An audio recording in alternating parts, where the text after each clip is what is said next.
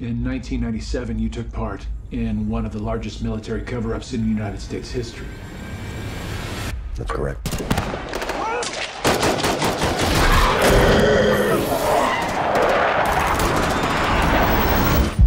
They'd been here before. Belgium, Osaka, Roswell, those were recon missions. But Phoenix was different. All across the state of mysterious flying objects in the sky. And what many are already calling the largest UFO sighting in North America. Congress doesn't even know if this happened. Anything like this? What's, what's that one behind that one there?